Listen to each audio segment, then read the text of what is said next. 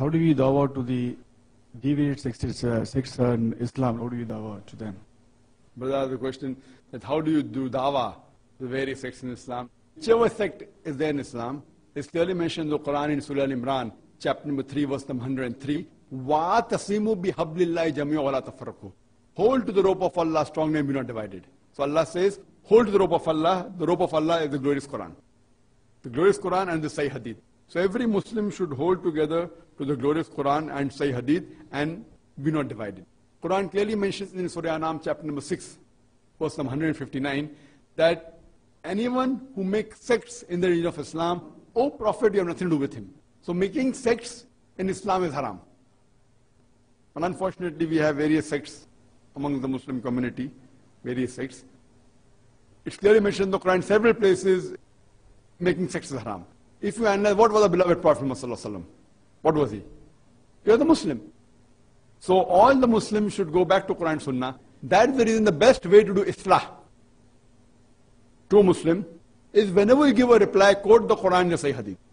So once you start giving references, the people will come to know the truth from falsehood. So whenever you give a reply, always follow up with proof along with references. Many of the speakers, they give answers without referring to Quran and Sunnah, without giving references. So when you make it common in the general masses, that whatever answer you give, back it up with proof, with reference and quotation from Quran and Sunnah, there are chances will come back to truthful. And Islam is only one. It's not divided. Though our beloved Prophet Muhammad said, it's hadith, a Sahih hadith of Tirmidhi, he said that there will be 73 sects in Islam.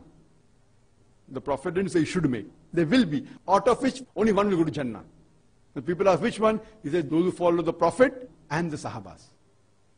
So all those who are on the straight path, following Allah and His Rasul, and the beloved Prophet said that if you do not find in the Quran or in the Sunnah, look in the next generation, the Sahabas. If you don't find there, then look in the next generation. Then the next.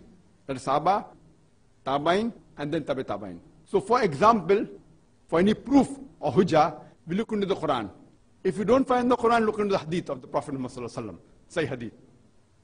If you don't find there, then the lifestyle of the Sahabas, then the Tabain, then the Tabi Tabain. So if you follow this, you're on the true path. Anyone who deviates from this path is not following to Islam.